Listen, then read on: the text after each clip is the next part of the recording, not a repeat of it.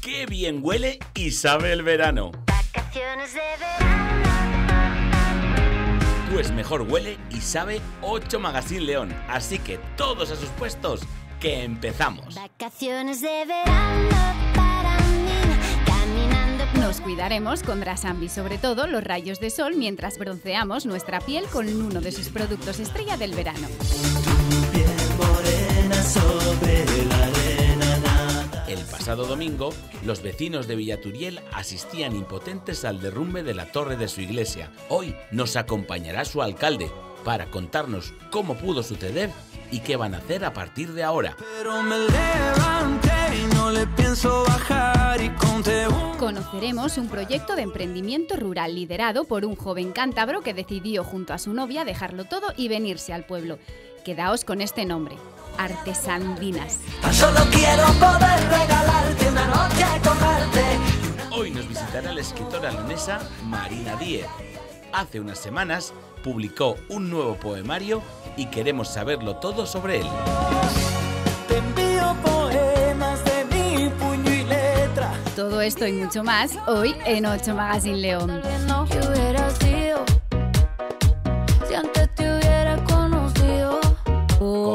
¡Comenzamos! Seguramente estarías bailando hasta conmigo. No como amigos. Ey, que hubiera sido. Ey, si antes te hubiera conocido. Que me da pena interrumpir, hombre. Seguramente estarías bailando hasta conmigo. 4 y 21 minutos de la tarde, bienvenidos a 8 Magazine León. Qué repertorio más chulo. Se nota que eres de la generación X, ¿Pitu? ¿O Z? Estamos entre la X y la Z, ¿eh? tú y yo, me parece a mí. Entre la X y la Z. La mejor generación, tengo que decirte, claro. Marina, ¿cómo estás? ¿Qué tal? ¿De qué generación eres tú? Pues yo ya entro en los millennials.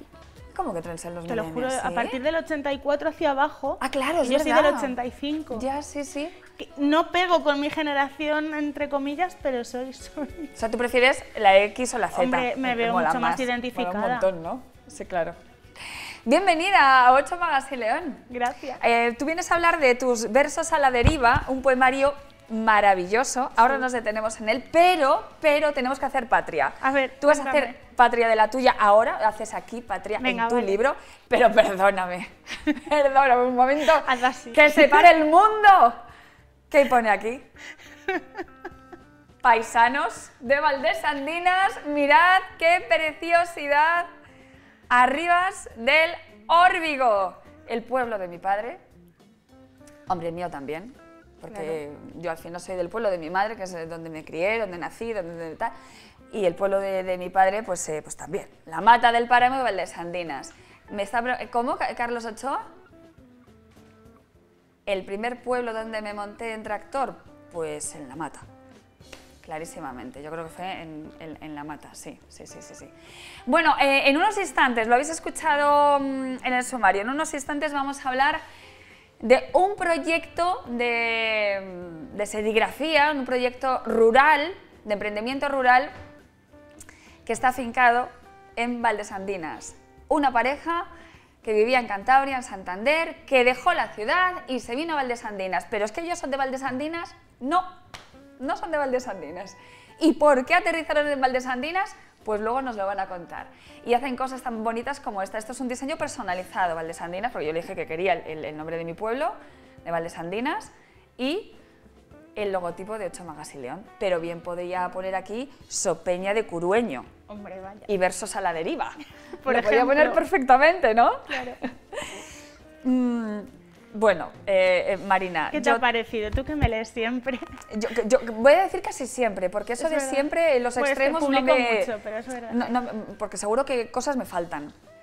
Pero mira, em, hay, hay poemas desgarradores, Sí. hay poemas muy sentimentales, hay poemas eh, que, que- como que te roban un trocito del corazón y, y- y además eh, parece que, que nos abres el tuyo. Claro, de eso se trata. Lo que yo no sé es si estas historias, porque más que poemas son relatos, o sea, son, son relatos eh, con, con un trasfondo crítico también en Sí, muchas, claro. en- en muchas ocasiones. Tiene su rintintín. Ajá, de crítica social, Claro. una crítica al consumismo, por ejemplo.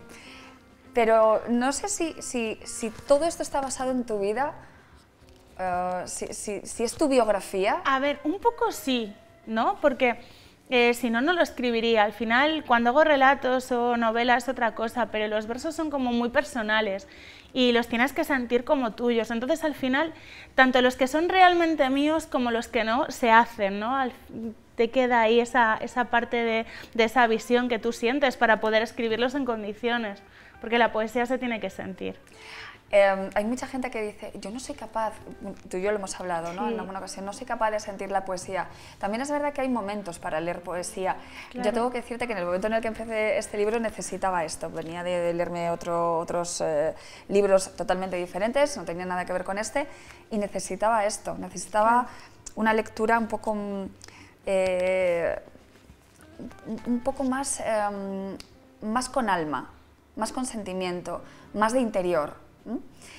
Mm, y tú llegas, a, mí por lo menos me, me has llegado, mira, dice, mm, voy a leerlo además, dice Ángel Fierro, que además, Ah, bueno, es que tengo una suerte tremenda en este libro. Es, es maravilloso. pues dice Ángel Fierro que este poemario es la clave de la escritura de Marina. Pero también dice Antonio Manilla lo siguiente, hay vacíos, pesadillas de muñecas masticadas, nublados y dolores, miedos y finales, llantos y añoranzas, escombros y daños, duelo y malquerer y desconsuelo, indiferencia, traiciones, intemperie y yo creo que algo que resume la vida, nuestra vida, terremotos emocionales. Claro.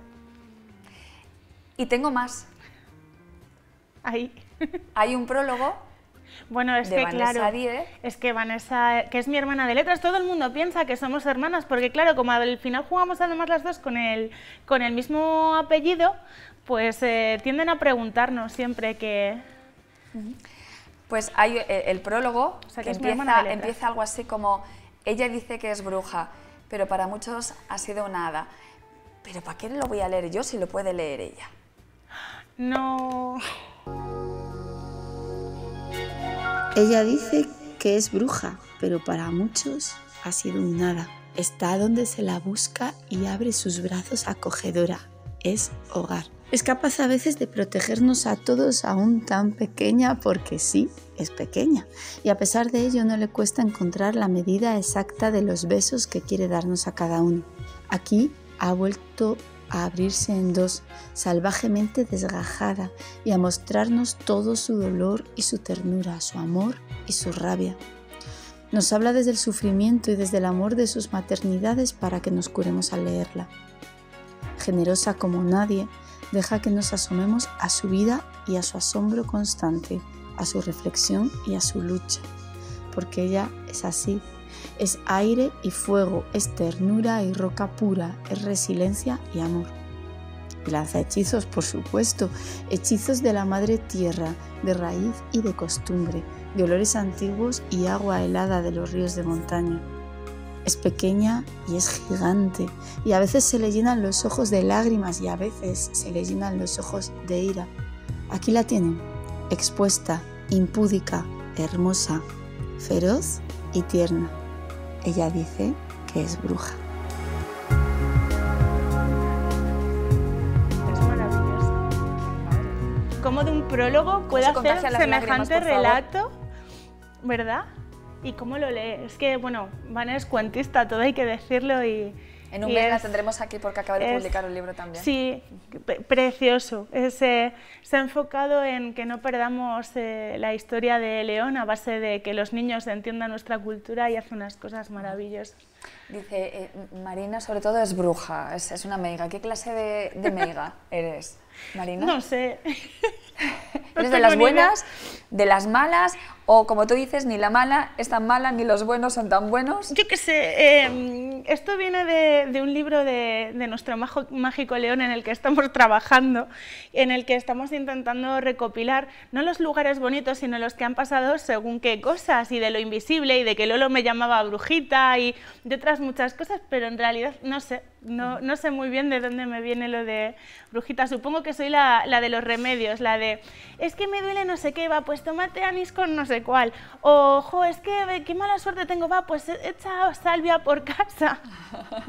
Claro, siempre remedios. Y de ahí yo creo que me viene lo de brujita. Has, has mencionado a Lolo, Sí, claro. supongo que será Lolín, Lolín, al quien dedicas en la página 27 Sí, eh, uno de tus poemas, ¿no? sí. sí, sí. Um, también hablas eh, de temas como la maternidad, de bebés robados, eh, del machismo, mm, de la infancia, del curueño, de su sopeña. Claro. Eh, antes decíamos que hacías, hacías una crítica al consumismo mm, por el uso de las bolsas de plástico.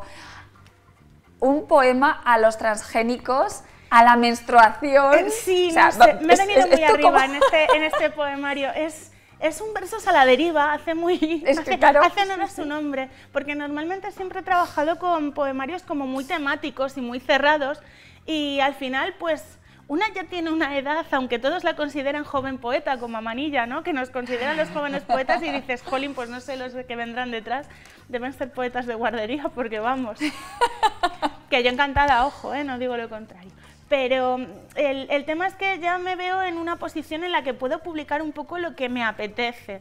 Y encima desde la, desde la editorial de Bajamar me, me dijeron que seleccionara lo que me pareciera y luego cuando los leyeron no me quitaron absolutamente ninguno y fue como no me han censurado nada. Ni los 30 extra poemas. Nada, ¿Los es- bueno, es, es que eso es, es- es- es una fricada que solemos hacer Concepción Hernando, otra, otra poeta de León y yo, todos los años. Hay una cosa que se llama Poember, en el que en diciembre escribes un poema al día, te retan con una palabra. Y se lo pasé al editor y dijo, jo, es que queda muy gracioso eh, que vean la capacidad que tienes para poder escribir un poema al día sin que pestañees. Y no, a ver, tiene su trabajo y sus cosas detrás, ¿no? Pero le, le apetecía y no los censuró, de hecho los puso absolutamente todos. Que yo hay algunos de los que estoy más orgullosa que otros porque los tendría que limpiar y mejorar, pero están tal cual se escribieron. Hay, eh, antes te comentaba que yo creo que mi favorito me va a quedar con... Bueno, hay dos. Yo tengo dos favoritos. Luego contamos la historia de lo que me pasó Vale. con uno de ellos. Pero eh, hay- yo- antes te voy a hacer una pregunta. ¿Por qué hay algunos poemas que no tienen título? Porque soy muy mala con los títulos. Eh, yo los poemas normalmente los escribo, siempre, siempre os lo digo, para desahogar, ¿no? para eh, centrarme en el mundo y entenderlo un poco mejor y si tengo que decir algo y quedarme a gusto, eh, son para eso. Entonces, ¿Y cómo no necesitan título. entonces? Una vez, Eh, pues por la, por la primera línea del verso o, por ejemplo, del que vamos a hablar lo llamo de determinada manera que ahora no puedo decir porque sería un spoiler muy grande. Entonces, eh, hay, hay determinados poemas que por el contexto, eh, hay uno que, que habla sobre, no sé cómo se titula, pero es para mí es el de la vecina con complejo de hámster. Tiene otro título, pero los encuentro fácilmente por eso. Entonces, no... Hay, hay uno en el que hablas de los propósitos que me parece maravilloso. ¿Quieres leerlo? Así, Eh, ¿Lo tienes ahí? Sí, así un poco rápidamente. Ya sé que los poemas necesitamos eh, masticarlos y disfrutarlos y respirarlos, Eh, sí. pero Bueno, ves, este por ejemplo no tiene título, pero tú me dices los propósitos y sé de qué, de qué poema me, me hablas, el de transgénicos, pues transgénicos. Otra cosa es que luego releyéndolos te apetezca darle una puntillita y entonces aparezca un verso más que es el título, pero hay algunos que no es necesario. No es que no encuentre mi propósito, Puede que solo olvidara dónde lo puse, soy despistada, pero algún día aparecerá, quizá entre las ganas de llorar y las de comerme el mundo. No es algo que se pierda tan fácil y denunciaría el robo de ser consciente de que tal hecho aconteciera. Es mío. Aunque tampoco lo echo de menos, mientras trabajo afinada en una mesa usando mi canto de sirena para enriquecer a otros cuando el cansancio me arrastra o por la rutina impuesta de colegio, trabajo, paseo, casa y a dormir. Y si la que me he extraviado soy yo y mi propósito continúa ahí. ¿Y, y si me he extraviado yo? ¿eh? Claro. ¿Y no el propósito? ¿Qué pasa? es que a veces... Pues este hay que leerlo todos los unos de enero, ¿no? O, o, bueno, el 1 de enero es cuando nos marcamos el propósito, igual un mes después hay que, le- hay que leerlo. Y atentos porque yo cuando empecé a leerlo, claro, habla mucho de las megas, de las brujas, de lo que les ocurría en su momento a, a las brujas, ¿no? Ya sabéis que eran quemadas en hogueras. Y después de venir de esa clase de poemas, resulta que me encuentro con Ah, este es, este. Este es un poquito largo. este es fuertecito, sí, dura casi Uf. dos minutos. Am, Sí, sí, eso es largo. ¿Quieres que leamos algo o que, o que hagamos, qué hacemos? ¿O que compren el libro? Hombre, pues a ver, eh, este como no me lo he jugado yo, pero pobre editor, yo diría que sí que compren el libro, ¿no? Bueno, el libro, por supuesto, tenéis que tenerlo en casa, eh, siempre en la mesita, el típico libro de... No hace falta que os lea- leáis de un tirón, ¿no? no si de vez en cuando podéis echar una ojeada y, y buscar ese poema que necesitáis en cada momento. Em, es que es un poquito largo, pero, pero podemos leerlo. ¿Quieres que lo leamos? Eh, Eh, ¿Qué página página 33, está? 33. Porque los tengo aquí por minutos. Claro, yo tampoco, cuando... es tan, tampoco es tan largo, ¿eh? Este ¿Sí? pensaba que duraba más. Vale, venga. Eh, em, poneos en mi Yo me llevo un susto tremendo. Repito, mm, poneos en, en- en mi situación. Vengo de leer poemas de brujas. Os hago mucha faena si me levanto. No, claro. Es que con este me veo rara sentada. Pues ya, está, sí. está porque si no, como que no... Perdona. Em, y cuando vengo de leer cosas de brujas y de meigas, me encuentro con este poema. Ahora lo entenderéis. Atada con cuerdas por las extremidades, mis gritos se escuchan en el pueblo entero. Señoras de negro con pañuelos en el pelo se acercan e intentan calmarme ante la atrocidad del momento. Un paisano se aproxima a mi rostro y me clava un gancho de hierro en el cuello. Noto cómo se me escapa la vida a chorros de roja sangre inmaculada en cada intento. Tres estoques le hicieron falta para encontrar mi carótida y hacer yo por fin libre de tal sufrimiento. Permanezco quieta, inerte, y continúan el ritual sin miramiento. Los niños acercan cubos que recogen mi sangre. Para ellos mi muerte es una celebración, un día para recordar. Por si fuera poco escabrosa la situación, me desatan y me tumban en una cama, en una cama de escobas y mies, prendiéndola. Con la piel totalmente ennegrecida me apartan de la cama para depositarme en una gran mesa.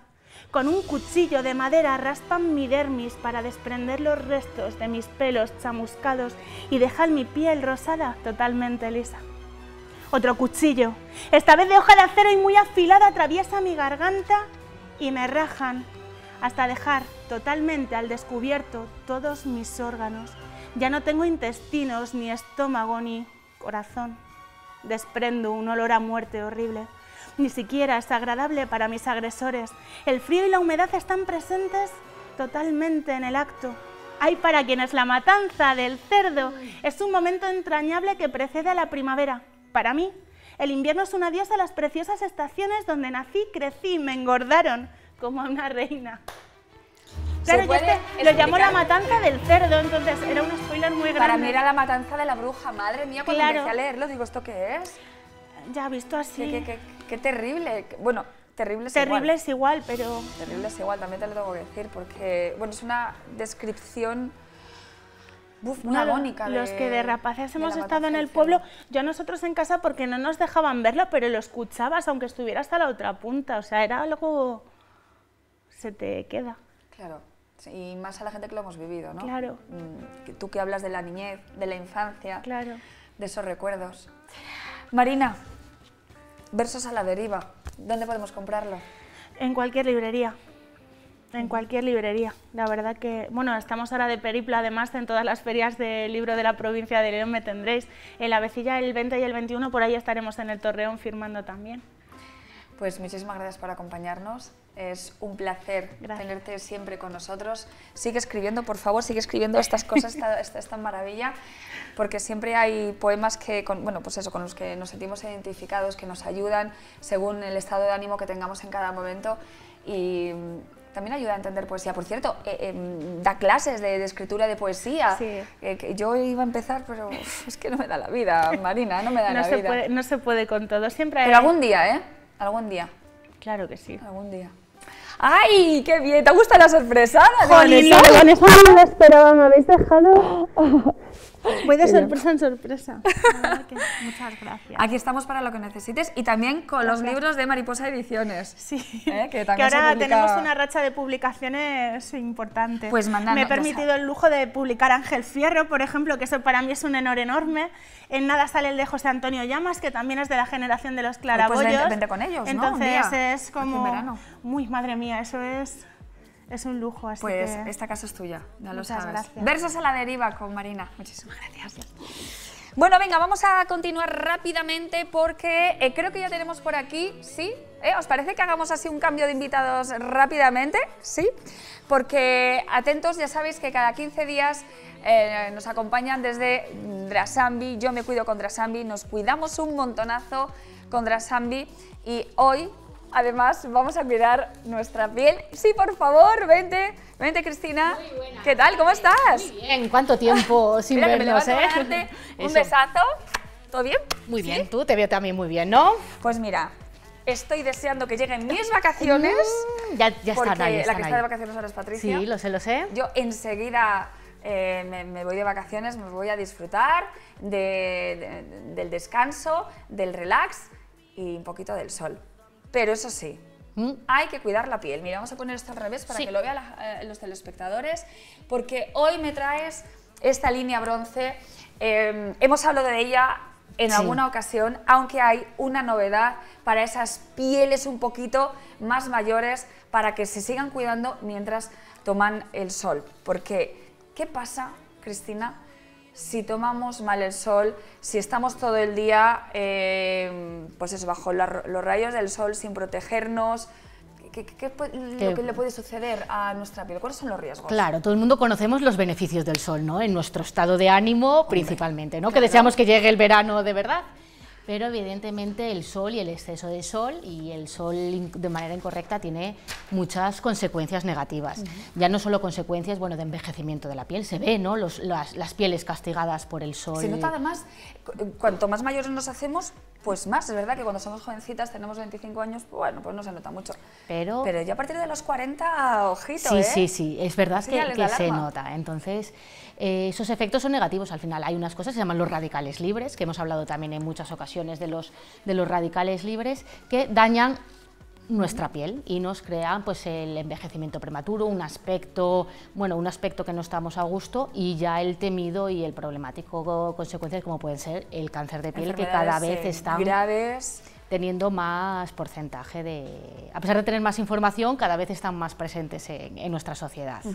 Y por eso eh, vamos a hablar de esta mm, línea de, de Drasambi, la línea bronce que está pensada precisamente para proteger la piel no solo por, por fuera, sino también por dentro, ¿no, Cristina? Eso es, a veces, bueno, como todo, ¿no? Como cuando hablamos muchas veces de cremas de colágeno, pero tomamos el colágeno porque el cuidado desde el interior es igual de importante que el exterior, esto, eso mismo ocurre, ¿no? Tenemos los protectores solares, que los tenemos que utilizar siempre, siempre no nos exime, Sí, pero... eso te iba a preguntar. Bueno, ahora, ahora hablamos de ellos. Sí, sí, sí, te- pero también tenemos que cuidarnos del interior, porque los daños del rayo solar llegan a capas interiores que no nos llegan con un protector solar de los que ut- utilizamos correctamente. Entonces, para eso está este tipo de, de productos, para evitar esos daños en, en capas mucho más profundas. Cuando vamos a comprar una crema solar, siempre eh, compramos esa crema solar según el factor de protección. ¿Y, y- y este producto?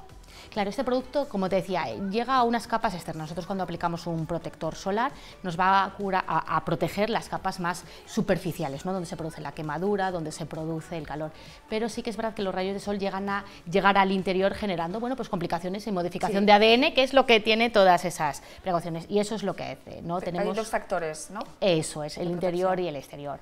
¿Pero qué es? eh, ¿Factor eh, 30 y factor 50? No, esas son nuestras cremas, eh, las cremas faciales. Tenemos también una Ah, línea dentro de la ah, línea de vale, crema. vale, vale. Esto, la diferencia que tienen estos dos productos, uno que ya lo tenemos desde hace muchos años en Drasambi, es para mm, preparar la piel para recibir el sol, mejorar el bronceado, que también nos gusta, es verdad, nos gusta protegernos, pero nos gusta broncearnos y mantenerlos en el tiempo. Y lo que hemos sacado este año es un poco lo mismo, nos ayuda a preparar la piel, pero sobre todo está pensado para esas pieles, bueno, pues más maduras, anti-aging, ¿no? Que se llama sabiendo lo que existe, ¿no? Para esas pieles ya eh, más propensas a las manchas, más propensas a las arrugas. Hemos sacado el nuevo producto pensando en, bueno, en mejorar a la gente que como igual cuando sacamos el pequeño el, primero éramos muy jóvenes pero ahora ya pues ya, cambia la cosa o sea, Drasambi va creciendo a medida que lo vamos haciendo nosotros claro claro claro Fíjate que antes te preguntaba por eso por el factor de, protección porque me acuerdo que pero no es verdad que, que no era mm, este producto era el, Eso es, no lo hemos traído. la, crema pequeñita, ¿no? Que pensaba que estaba por ahí, por eso te preguntaba. Eh, una crema facial maravillosa, porque a mí me la, me la trajo Nuria en su momento y me dijo, pruébala que te va a gustar. Mm, quedé encantada, ¿eh? Con, no, son ecológicas, está muy bien, si tenemos las dos, es ecológica y bueno, la verdad que también es muy satisfactorio. Esto es, bueno, pues el interior. diferencias, ya los has dicho, entre estos dos productos, es, eh, pues, digamos que uno es para una piel un poco más joven y el otro para una piel un poco más madura. Eso es, los ingredientes fundamentales del licopeno, luteína, que son los ingredientes que nos mejoran el bronceado, ¿no? Eh, la tirosina, que es la precursor de la melanina, ¿no? el que nos pone, están presentes en los dos. En el nuevo hemos dado una fuerza al ácido hialurónico, con una cantidad muy importante de ácido hialurónico. El ácido hialurónico lo conocemos todos, está presente en, Cada vez en todas las cremas. Bueno, al final el ácido hialurónico nos permite tener hidratada la piel, eh, poner pues esas fibras, entonces es la diferencia, la principal diferencia que tienen una cantidad muy importante de ácido hialurónico para esos casos. Antes hemos pasado un poco de puntillas, has dicho que si tomamos este producto Em, eso no exime de echarnos crema Nunca, solar. Jamás, jamás. Como decimos, nos va a proteger las capas internas, pero las capas externas van a quedar expuestas al sol de la misma manera que quedan. Entonces sabemos que la protección solar es básica. Como siempre, tenemos miles de recomendaciones, a ver si las ponemos, llevamos a cabo no solo en verano, sino en el invierno. Durante todo el año se puede consumir el producto, claro. Incluso las cremas solares, hay cremas hidratantes que ya tienen factor. Claro, porque es importante, igual es de dañino el sol, bueno, pues de invierno o el sol. Y por suerte generalmente esta ciudad también eh, no se entra el sol, entonces deberíamos también de, utilizar. ¿Cómo se puede consumir, Cristina? Si te parece, nos levantamos y vamos a enseñar a los telespectadores. Tú abres una cajita y abro yo. Bueno, no sé, ¿se puede abrir? Sí, sí, sí, sí, sí, Bueno, pues nada, cualquiera de los productos son, vienen en 30, en, 30, en 30 unidades que duraría el mes. Lo ideal es tomarlo antes, es decir, yo me voy a ir de vacaciones en agosto, pues en julio me vendría muy bien tomar una caja porque hacemos que la piel se prepare, ¿vale? Que la piel esté preparada para recibir el sol y el daño sea inferior, ¿vale?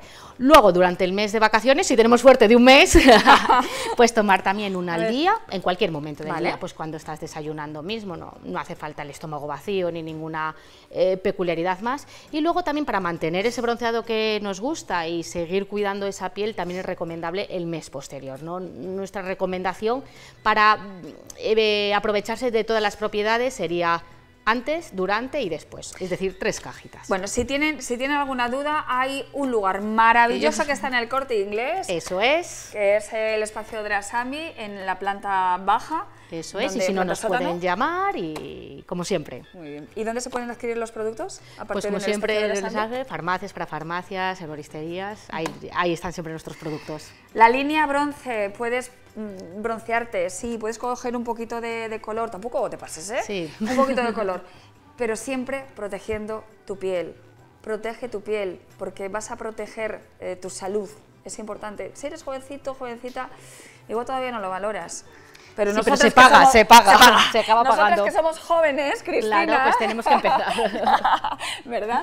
Yo el otro día ya les decía a mis compañeras, mira, a mí me encanta, a todo el mundo nos gusta estar bronceados, morenitos, pero yo creo que este verano ya no me voy a poner debajo del sol. El que el sol recibamos, claro, sí. Yo creo que ha cambiado. El que te toque de piscina infantil, ¿no? Exacto, vamos a dar prioridad a otras cosas, eso sí. Eso no significa que no nos sigamos echando crema y eh, protegiendo nuestras capas, las capas de nuestra piel por fuera y por dentro. Cristina, bueno, pues nada, muchas gracias. Muchísimas gracias por acompañarnos. Buenas vacaciones. igualmente. Y nos vemos en la vuelta. ¿Cuándo te vas? Yo me he cogido aquí unos días, pero me queda todavía ahora en agosto también. Nos vamos a ir a publicidad y a la vuelta. ¿Qué me dices, Carlos Ochoa? Ah, bueno, vale, Jolina, espérate, que me dice que cambie de cámara, pues voy allá. Vamos a ver, espérate. ¿Aquí? ¿Esta cámara te gusta más? Sobre todo para enseñar esto.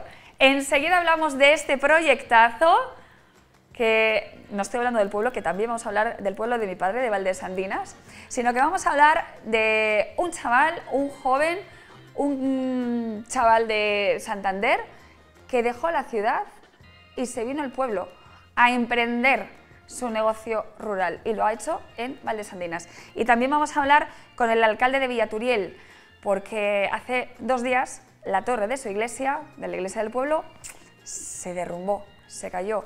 Y tenemos a los vecinos bastante indignados y un poco cabreados, porque ya lo venían avisando, ya venían diciendo que esto lo arreglen, que lo solucionen ya, que se nos va a caer la torre. Y justo un día antes de esas obras de restauración, la torre se cae. Enseguida, en los llamadas León. Hasta ahora.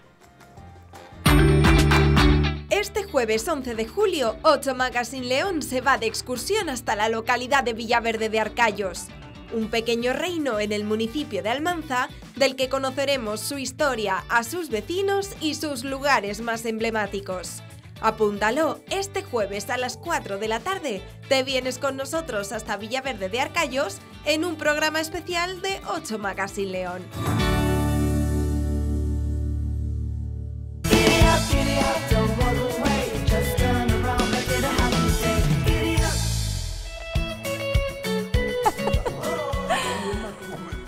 4 y 57 minutos de la tarde y aquí estoy charlando de la vida con Valentín Martínez, el alcalde de Villaturiel. Eh, también hay que sonreírle a la vida y sacar eh, lecturas positivas de las cosas, aunque es verdad, Valentín, buenas tardes, Buenas que lo tardes. que sucedió el pasado domingo, mm, iba, iba a utilizar una frase que creo que va a ser bienvenida o bien avenida, que es no tiene perdón de Dios. Mm, bueno, o, o- o se obró el milagro. O sea, bueno, también. O, se obró también, el milagro, también. depende porque te- Claro. te, cuento un poco. Podían haber pasado cosas. Eso es, eso es. eh, Yo, y- y- después de la primera impresión, mm, lo que dices tú eh, es verdad la, la tristeza, pero luego llegas a pensar lo que pudo haber pasado porque el viernes mismo estuvieron allí los servicios técnicos del ayuntamiento y del obispado por dentro de la torre, que vamos. Y eh, estuvieron veci- algún vecino debió estar el sábado segando el entorno. En las Y el- inmediaciones, en las inmediaciones. Y el lunes iban a hacer los primeros trabajos, iban a hacer allí algo. Va- ¿te va- vamos a ubicar a los telespectadores. Bueno, seguro que Sí, lo habéis visto en todos los medios de comunicación, seguro que lo habéis leído en un montón de diarios digitales, lo habéis escuchado en los informativos regionales de esta casa de las 7, de la 8, porque todo el mundo se ha hecho eco de esta noticia, de esta mala noticia, y es que uno de los emblemas o el símbolo de la localidad del municipio de Villaturiel em, este fin de semana, el pasado domingo, se derrumbó, se desmoronó. Los vecinos ya llevaban meses y meses y meses avisando al obispado de que esto iba a suceder, que estaba en malas, eh, en una mala situación, que había grietas. Se trata de una torre que tiene más de 200 años, ¿verdad? Y bueno, pues iba a decir contra todo pronóstico, pero, pero no, no es así, porque es que además la base ya estaba sufriendo daños, creo que había, se había caído algo, alguna, alguna parte. El domingo, ahora me, me cuentas cómo, cómo fue, cómo lo vivisteis, cómo lo sentisteis, cómo lo escuchasteis. Esa torre, como digo, se desplomaba, afortunadamente, mm, sin lamentar eh, ninguna desgracia humana. Eso es, sin, daños personales, que al fin y al cabo es lo más importante. Eh, los daños son materiales al desaparecer, como bien dices, un símbolo que es no solo para, para el pueblo de Viaturiel, sino para toda la comarca. Es era un poco la referencia. Nosotros en el ayuntamiento, que son 13 localidades, 14 si desdoblamos el puente Villarente con Toldanos, eh, lo teníamos como referencia la imagen de la torre con la iglesia en la- nuestra página web. La Sí, verdad de, de hecho tenemos la comparativa de cómo estaba eh, esa torre, cómo- ahí está, Eso y es. cómo ha quedado. Eso es. Y bueno, colapsó el domingo. Y después de la desgracia eh, y después del daño material, hay un, un daño moral. El daño moral y que afecta sobre todo a los vecinos y más a los vecinos los que viven en el pueblo, pues que su torre ya no está. Es- eso, eso es lo que lo más eh, desafortunado de la noticia. Lo más afortunado, y por eso hablábamos un poco de milagro, es que sucedió en un momento donde no había nadie, porque justo el día anterior y el día posterior, lunes, eh, se, se iban a hacer cosas en la torre, iban a actuar. ¿Os imagináis tal y como ha caído la torre, pues posiblemente hoy estuviéramos hablando de otras, cos- de, de otras cosas bastante más graves. Es verdad que eh, vosotros, eh, que, que habéis sido desde el ayuntamiento muy, muy previsores, habíais acordonado la- la- la- mm, el lugar y hacía meses que no se celebraba ninguna misa, que la iglesia estaba cerrada al público, se celebraba la misa en la, en la ermita. Eh, Eso también, pues lo que tú dices, ha evitado mm, unos eh, eh, mayores daños personales. Eso es, lo- los vecinos, sobre todo los que estaban más en contacto con la torre, porque hacían mantenimiento del reloj y algunas cuestiones, ya veían un problema. Nosotros inmediatamente eh, a nuestros servicios técnicos mandamos a hacer un informe de la situación. Con ese informe se lo trasladamos al obispado mm, por escrito y todo, y requiriéndole que estaba en situación grave y que tomaran las medidas oportunas. Eh, desde ese punto de vista hemos actuado rápido. Eh, desde el mes de marzo, que ya se empezaron a, ya empezó a haber problemas, cada vez el deterioro era mayor, eh, se acordonó la zona, ya no se permitía, como bien dices, hacer oficios religiosos en, en la iglesia. Afortunadamente el pueblo tiene una preciosa ermita en el medio del pueblo y allí pueden hacer perfectamente los oficios religiosos y se desplazaban allí. Y ya se tomaron esas medidas de seguridad las mínimas que, para, para proteger la, la salud de, de- de la, de la gente. Y, y sí, se tomaron de- desde, desde el principio. Ujú. Eh, ahora hablamos de esa respuesta, ese plan de restauración, Mm. de, de la respuesta por parte del obispado, porque además, eh, aunque el párroco actual es eh, Iñaki, creo que el anterior eh, era Luis García Gutiérrez, vicario general, abad de San Isidoro y también el, el responsable de El patrimonio. patrimonio, ¿no? sí, sí, ese día, ese domingo, ¿a qué hora dices que fuese? A las 12, creo, a las 12 menos 5 fue cuando... ¿Qué sintió el pueblo? ¿Qué escuchó el pueblo? ¿Cómo, Pues, cómo te llegó la noticia? ¿Cómo os llegó? Pues mira, a, a mí, a mí me llama la, la presidenta de la Junta Vecinal, justo, además no estaba en casa, estaba dando un paseo por, por el entorno del río, pero vamos, estaba en mi pueblo, porque mi pueblo no es de Villaturiel, es Roderos, es un pueblo que está a dos kilómetros de, de Villaturiel. Y eh, la iglesia, se ha caído la iglesia, justo, y eran las 12... ¿La- la iglesia o- Le perdona, la, la la torre, torre? la, torre. Se ha caído la torre de la iglesia y justo eh, tardé un cuarto de hora en llegar allí y, y ya había colapsado. Y, eh, y te- eh, estaba hablando con algún vecino que lo vio en directo. Ya eh, de los que conocían la torre mandan un WhatsApp a- al grupo, a un grupo que tienen del pueblo, diciendo si queréis ver la torre por, por última vez, hacer las fotos ahora, porque se va a caer, porque ya estaba desprendiendo pequeños eh, de polvo de tierra y demás. Y efectivamente, a las 12 menos 5 colapsa la torre y, y se cae. Lo- algún vecino lo vio en directo y se cayó muy bien, dentro de lo que cabe, porque se cayó, dice casi muy suave, aunque el ruido fue eh, evidentemente con las dimensiones de la torre y, y los materiales que tenía, y el tejado, que era, el tejado influyó mucho porque estaba, mm, habían hecho la reforma no, no hace muchos años y lo habían puesto con un cincho y cae en bloque y cae así como resbalándose para la parte sur, para la parte donde está el jardín de, de la iglesia, no para la parte de atrás, que está la calle y viviendas, y no para la otra parte, que había un- otros, otros locales. Y afortunadamente, dentro de, de la desgracia que es, cayó hasta bien. ¿La, la iglesia eh, ha sufrido algún daño con este derrumbe? No, eh, pa- eh, todo lo que es la nave, además se ve perfectamente ahí en, en las imágenes, eh, lo que está adosado a, a la, a la pared que queda es la nave, eh, justo es el coro de la iglesia. La parte principal del retablo es la primera, parece ser que no, que no está nada afectado, posiblemente, no lo sé, porque allí no, no entra, no, no sé si el obispado ha entrado, hay alguna grieta como consecuencia es- de, la caída y demás de la torre, pero parece ser que, que no está, yo le he oído al vicario general que posiblemente hayan entrado ahí y parece ser que no hay grandes afecciones en, en la, en, la, en la nave como se ve, en la nave y en, y en lo que es el, el ábside de la iglesia. No, decíamos que afortunadamente no hemos tenido que lamentar ningún daño personal, humano, pero mm, sí que se ha venido abajo también, se ha destrozado el hogar, la casa. de una familia de cigüeñas. ¿Qué ha pasado con ellas? Bueno, lo de las cigüeñas fue muy, muy peculiar, yo se lo he dicho.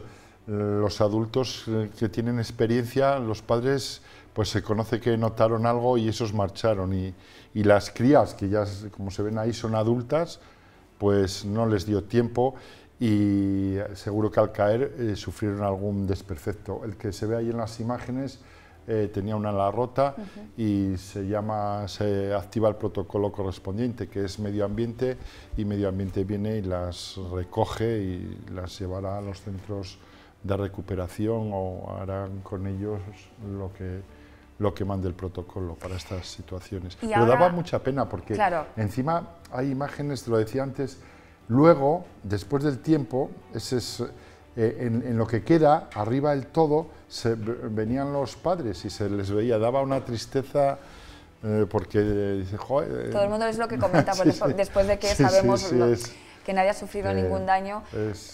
Qué pena de, las cigüeñas y de, su casa, su hogar. Bueno, eh, con la torre se ha ido también abajo el campanario, se ha ido el reloj. El reloj, que, el reloj que, que es, creo que es una de las cosas de más valía tenía una maquinaria de funcionamiento muy importante y tenía un valor importante. Es lo que yo creo que de la torre lo que más valora, aparte de las campanas, que las campanas eran impresionantes.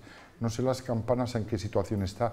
Comentan que una ya estaba deteriorada y no sé si aguantarían luego porque quedaron debajo del tejado.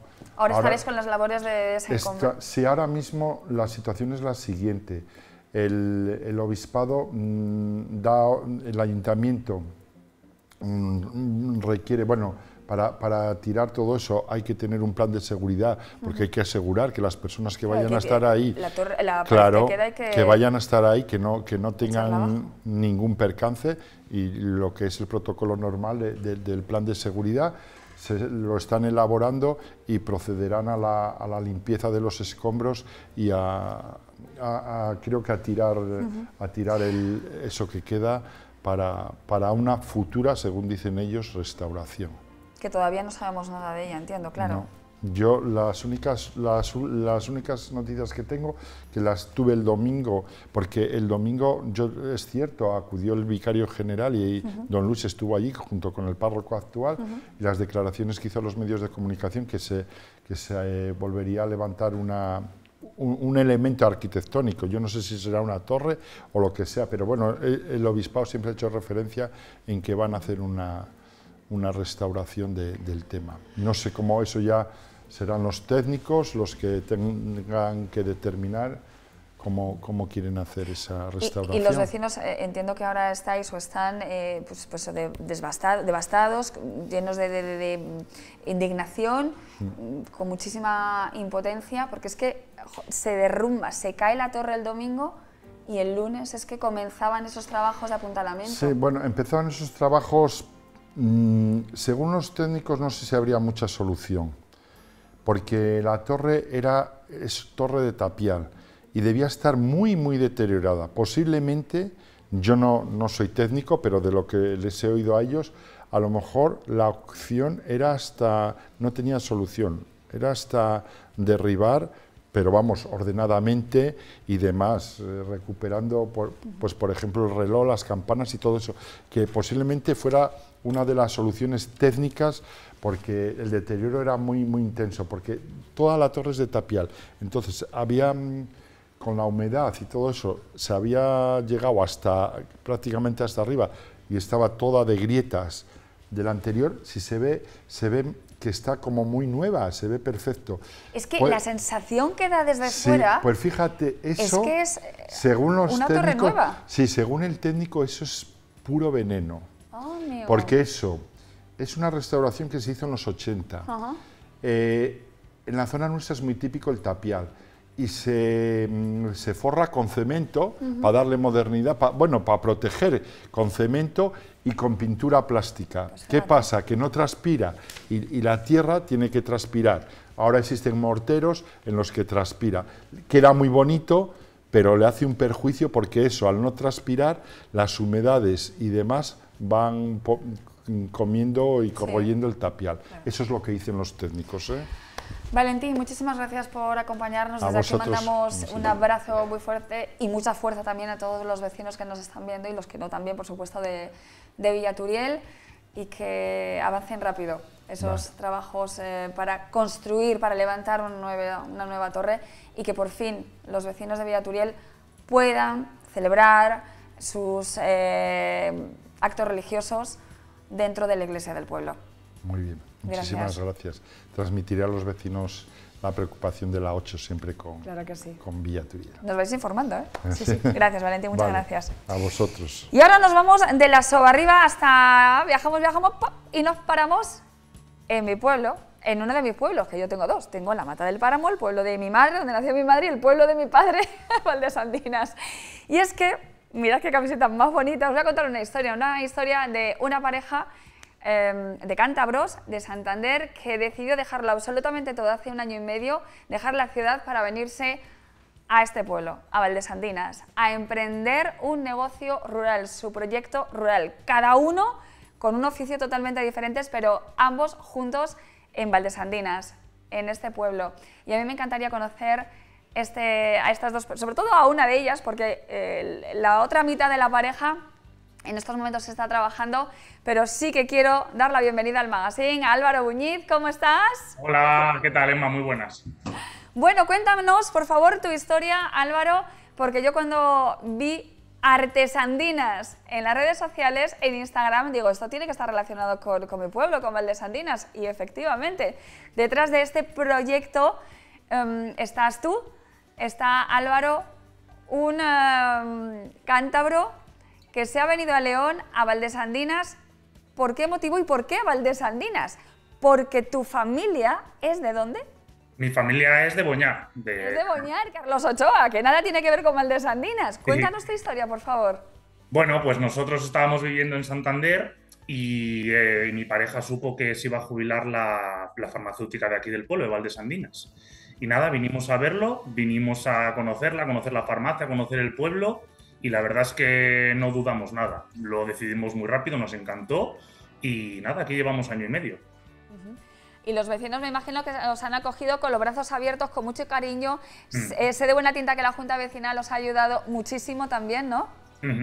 Sí, bueno, al principio pues en la farmacia todo el mundo hacía lo posible por que conociéramos a todo el mundo, que nos integrásemos, que, que fuésemos como unos más del pueblo, que llevan toda la vida, vamos. Y súper bien. Y luego yo cuando empecé con la serigrafía también la Junta Vecinal me ayudó en el tema del local, buscándolo, dándome todas las facilidades y bueno, al final eh, entre la gente y la Junta Vecinal la verdad es que mantienen al pueblo muy vivo y, y nada, con futuro, que es lo importante. ¿Y qué es Artesandinas? ¿A qué te dedicas? ¿Qué es lo que haces? Pues Artesandinas es una empresa de personalización textil, digamos, de, de merchandising también.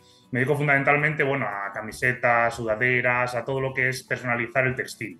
También hacemos diseño gráfico, eh, diseño de logos y demás. De hecho, hemos hecho recientemente el escudo y la bandera de Valdesandinas, aunque no es oficial, pero hemos hecho un, bueno, un pequeño escudo y una bandera.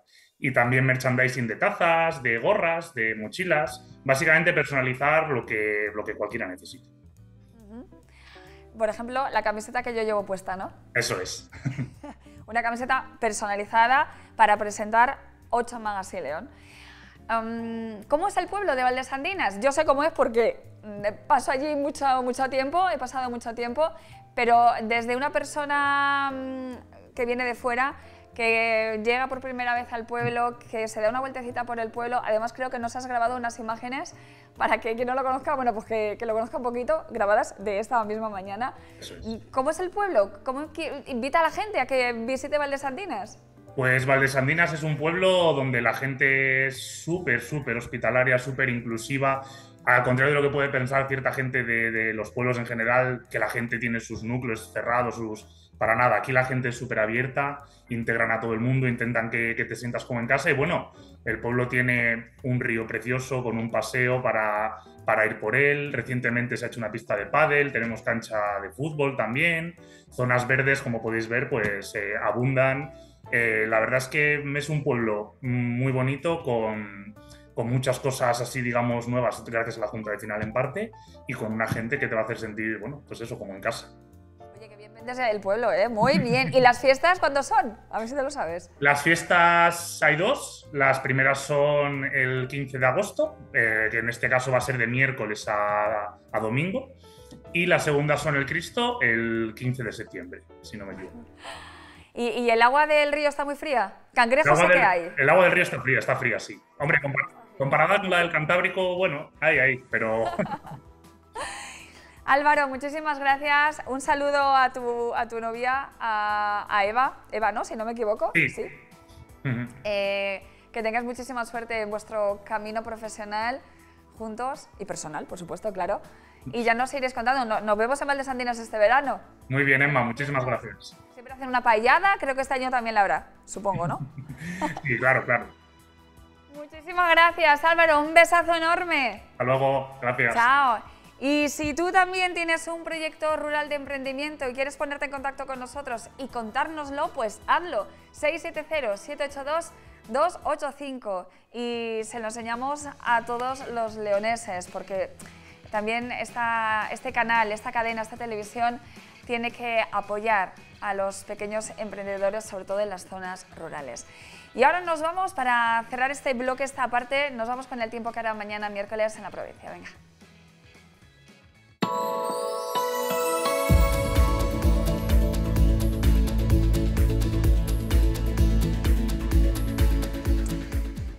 Mañana se verán principalmente cielos nubosos en León y cielos cubiertos por la tarde.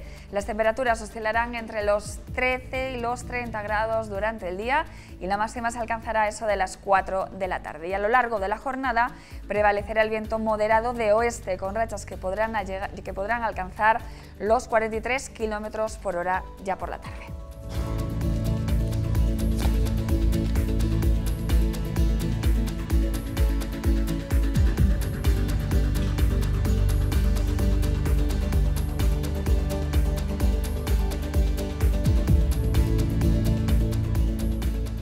Bien, este mapa ya me va gustando un poquito más, ¿eh? Ya estamos viendo el sol y está lloviendo ahora mismo. Mira, mira. Madre mía. Bueno, pues nada. Ya queda poquito. Ya se termina la lluvia, viene el calor, el solecito y a disfrutar, a disfrutar. No, sí, que sí, Ca- Carlos Ochoa. También es bueno que llueva, también tienes razón, es verdad. Pero que llueva un poquito más adelante, que nos vamos de vacaciones. Eh, nos vamos a publicidad y a la vuelta los planes en León. Hasta ahora.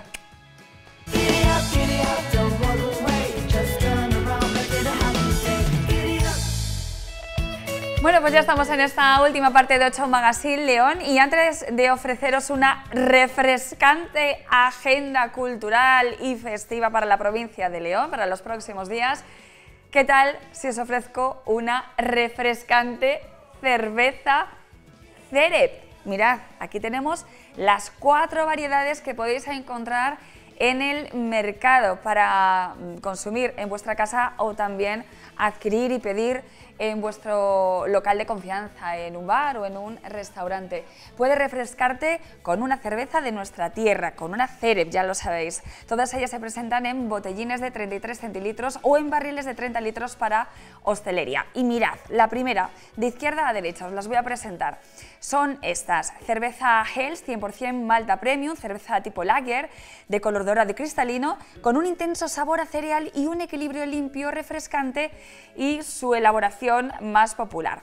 La siguiente, cerveza Pale Ale 100% Malta Extra, una cerveza tostada de elegante color cobrizo con toques de caramelo, densa y persistente espuma y el amargor justo para un equilibrio final en boca. Es su cerveza tostada. Ahora nos vamos con la cerveza limón, una variedad muy refrescante para este verano que estaba siendo solicitada por los amantes de la buena cerveza y que está realizada con zumo natural de limón. Y para aquellos que no pueden consumir alcohol, bueno, pues una cerveza sin alcohol tipo ale, elaborada con tres tipos de malta. Y ojo que han cambiado el etiquetado desde la cerveza Cerep. Aroma, sabor y carácter leonés. Y tremendamente deliciosas. Cerep, nuestra cerveza leonesa.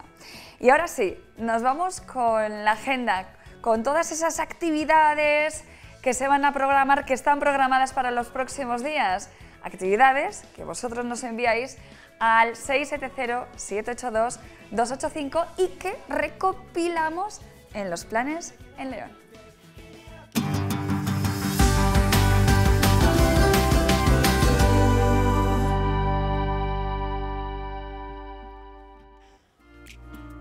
Pues venga, comenzamos con Astorga porque acogerá la segunda Feria de Antigüedades desde el viernes 12 al domingo 14 de julio en el pabellón de Rectivía. Entrada gratuita para todos los asistentes. Y en el Jardín de la Sinagoga, también viernes, sábado y domingo, food trucks en Astorga y la discomóvil La Bomba.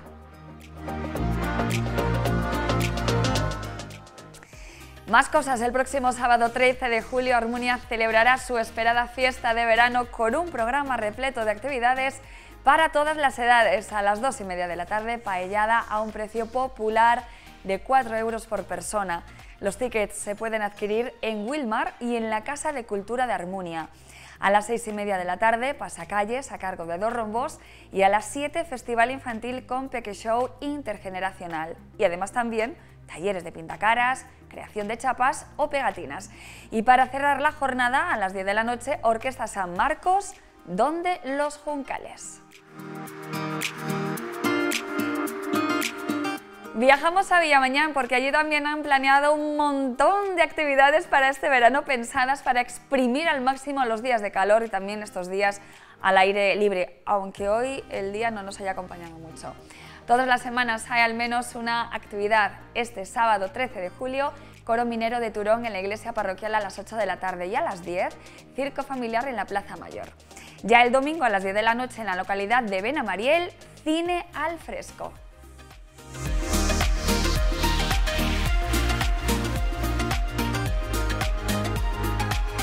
Y el próximo martes 16 de julio, Beguellina de Órbigo celebrará su 33 eh, Feria Agroganadera y del Ajo con un programa de actividades muy completo ya desde incluso el viernes 13 de julio.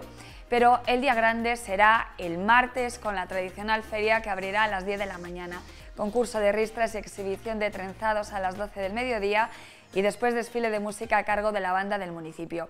Y ya por la tarde, a las 7 y media, desfile de pendones y entrega de premios del concurso a las mejores ristras y cestas de ajo y por la noche, a eso de las once y media, gran verbena con la orquesta Cañón.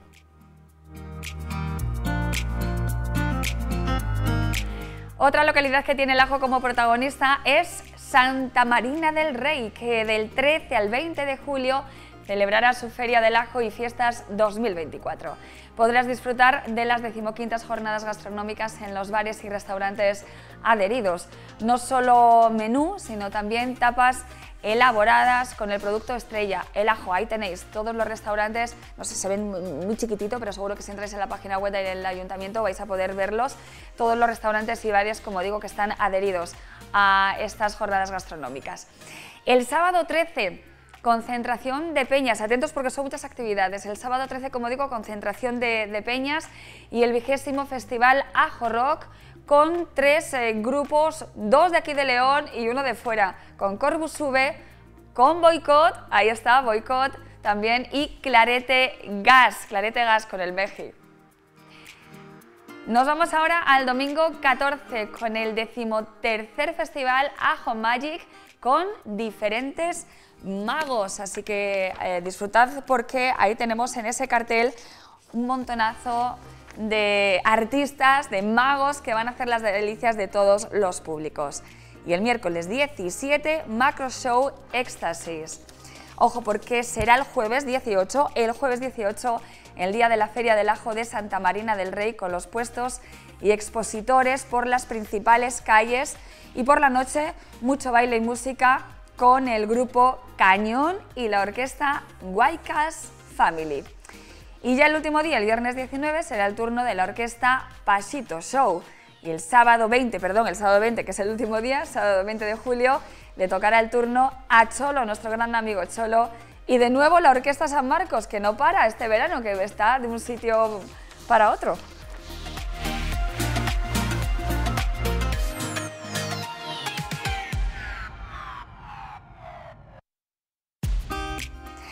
Y más actividades, en este caso música en la montaña. Es verdad que es una actividad que va a tener lugar eh, dentro de unos días. En concreto será el sábado 27 de julio. Es una propuesta musical que repite una vez más este ciclo eh, Música en la Montaña en la localidad de Riaño, que se va a convertir en la anfitriona a finales de este mes de grandes artistas del panorama nacional. Actuarán Andrés Calamaro, el grupo Taburete y Pandorado. La entrada será libre hasta completar aforo.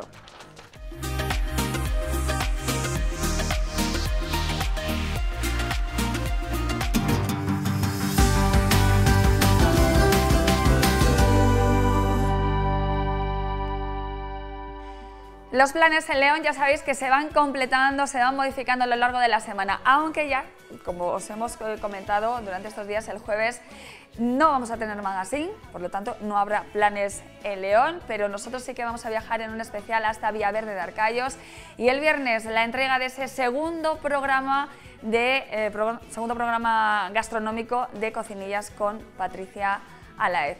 Y nosotros ya nos despedimos. Regresamos mañana a la misma hora, en directo. Nos vamos. Yo y mi camiseta maravillosa y guapísima de Valdesantinos. Que paséis muy buena tarde. Un besazo. Gracias por estar al otro lado. Chao.